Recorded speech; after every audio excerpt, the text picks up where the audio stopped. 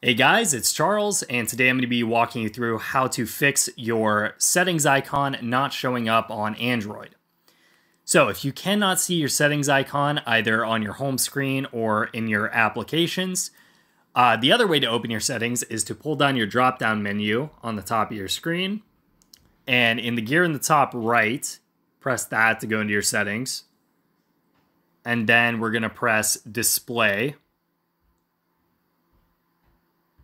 and then scroll down to home screen.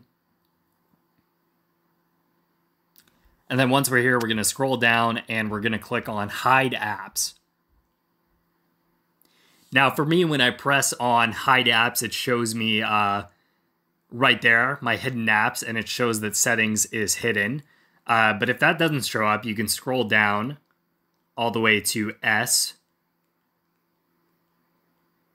And you see right there, settings is checked. So make sure it's unchecked and hit done.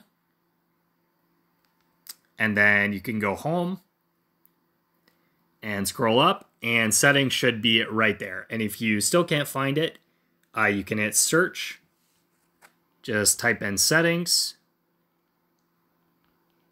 hold, uh, press and hold on it, and then hit locate app and then it'll show up right there. And then you can press and hold it and drag it up and place it on the home screen. So guys, a really easy fix. Uh, leave a comment if that worked for you. Uh, like and subscribe to the channel, and I'll see you guys next time. Bye-bye.